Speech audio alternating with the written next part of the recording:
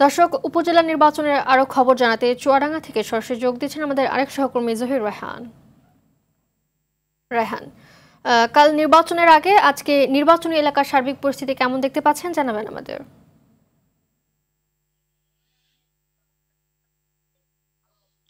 মালিহা আসলে আজকে আমরা দেখেছি যে দুপুর থেকেই আমাদের চুয়াডাঙ্গা যে দুটি উপজেলা পরিষদ নির্বাচন সাধারণ নির্বাচন হবে, ষষ্ঠ ধাপে। আসলে দুপুর থেকে কিন্তু নির্বাচনের যে সরঞ্জাম, তা কিন্তু সংশ্লিষ্ট যে রিটার্নিং সহকারী রিটার্নিং অফিসারের কার্যালয় আছে, সেখান থেকে কিন্তু বিতরণ শুরু হয়েছে।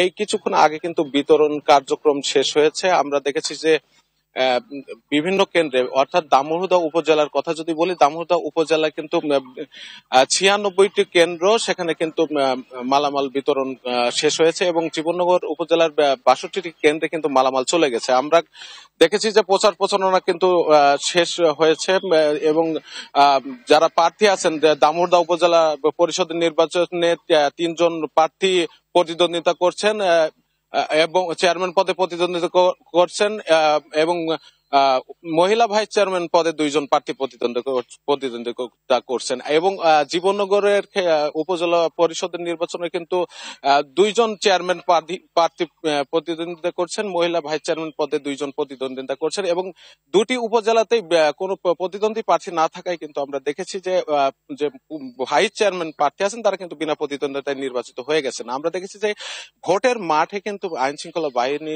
কিন্তু ভোট নির্বাচন সুস্থ করতে কিন্তু কাজ করছে। আমরা কথা বলেছিলাম জেলা নির্বাচন অফিসারের সাথে, তিনি যেটা জানালেন, আঠারো জন নির্বাহী ম্যাজিস্ট্রেট কিন্তু দুইটি উপজেলায় কাজ করবে, সাথে দুইজন জুডিশিয়াল ম্যাজিস্ট্রেট কাজ করবে। আর আমরা দেখেছি যে এই নির্বাচন সুষ্ঠু করতে কিন্তু আগামীকাল সকাল আটটায় ভোট গ্রহণ শুরু হবে এবং বিকেল একটা না বিকেল চারটায় পর্যন্ত ভোট গ্রহণ চলবে। কোনো অপ্রীতিকর ঘটনা যেন না ঘটে, সেক্ষেত্রে কিন্তু আইন শৃঙ্খলা বাহিনী সবসময় সজাগ রয়েছে। আলিয়া। ধন্যবাদ আপনাকে।